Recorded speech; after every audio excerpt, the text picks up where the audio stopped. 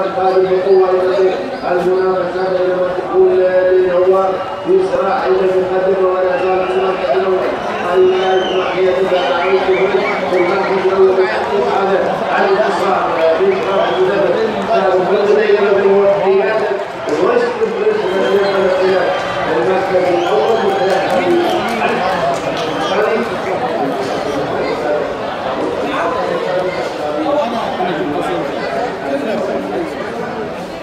المانيا اثنين سبعة واحد هاي اون لايف ملك سمو الشيخ حمدان بن محمد آل مكتوم مدربة سالم بن مضيق 158276. The winning margins.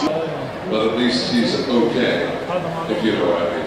يلا المشكلين رقم واحد المشكلين رقم واحد ده فرق العدد الجديد نلعب أريك Congratulations, the winning horse, number one, High on Life, owned by His Highness Sheikh Hamdan bin Mohammed Al Maktoum, trained by Salim bin Ghadayer, and written by Fabio Ziani. Congratulations. Yeah,